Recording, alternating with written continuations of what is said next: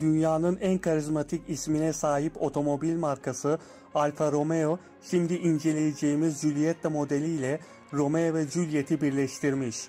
Romantikler için çok güzel bir detay düşünülmüş aslında. Markanın alışkın olduğumuz sivri ve keskin hatlara sahip olan tasarımı radikal bir şekilde değiştirilmişti. Alfa Romeo yönetimi bundan kısa bir sürede vazgeçti ve Giulietta hala istendiği kadar olmasa bile sportif hatlara büründürüldü. Önden bakıldığında sivri burun tasarımı hiç şüphesiz onun en dikkat çeken yanı. Üçgen formlu havalandırma ızgarasıyla da görünümüne çekici bir dokunuş yapılmış. Bu otomobilin yüzüyle ilgili en önemli sıkıntı plaka konusunda yaşanıyor.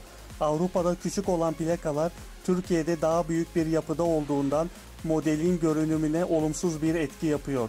Profil görünümünde sakin kalmayı seçen otomobil, arka tasarımdaysa sportif stop lambalarının formuyla özellikle geceleri son derece dikkat çekiyor.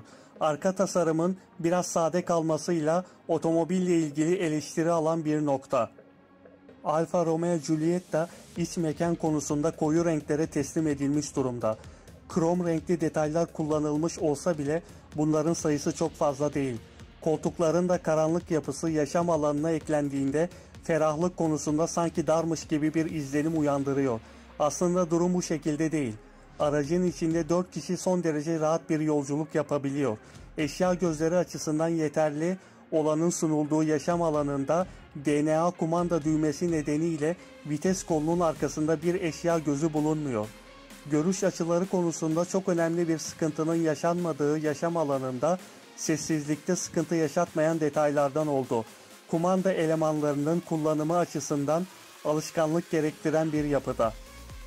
Neredeyse tüm kumanda elemanları farklı boyutlarda. Bunun yanında bazı kumanda elemanları da direksiyon simidinin önünde kaybolmuş durumda. Motor işte bu konuda gerçek bir profesör. Çünkü Türkiye'nin beklediği tüm ihtiyaçlara cevap verebilecek kombinasyona sahip. Multijet 2 adı verilen teknolojiyi kullanan dizel ünite yerine aldığı başarılı motorun getirdiklerini bir adım daha ileriye taşıyor. İddialı verilere sahip olan motora 6 ileri oranlı çift kavramalı bir otomatik şanzıman eşlik ediyor. Bu şanzımanın çalışma karakteri de başarılı olunca ortaya son derece keyifli bir tablo çıkıyor. Performans açısından beklentilerimizi zorlanmadan karşılayan araç tüketim konusunda da son derece iddialı. Güvenlik Alfa Romeo Giulietta Euro NCAP çarpışma testinden 5 yıldız alarak ayrılmış modellerden biri. Bu 5 yıldızı alırken yetişkin yolcu güvenliği konusunda da çok önemli bir başarı elde etti. Alfa Romeo Giulietta konfor ve yol tutuş DNA'sı da oldukça iyi. Bunu söylememizdeki amaç DNA adı verilen sürüş sistemine sahip olması. Araç istendiğinde dinamik, istendiğinde normal, istendiğinde de otomatik modda kullanılabiliyor.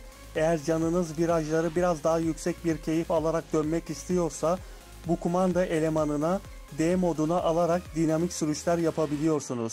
Bu sırada ortaya çıkan sürüş karakteri de son derece iddialı.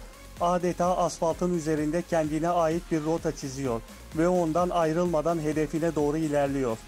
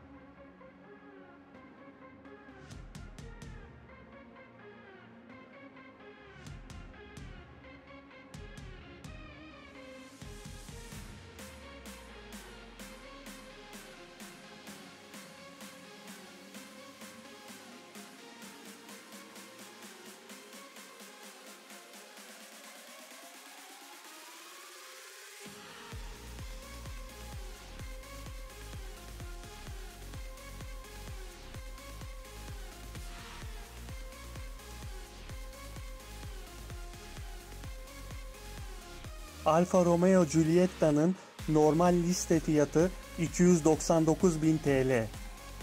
ÖTV indirimli fiyatı ise 166.000 TL.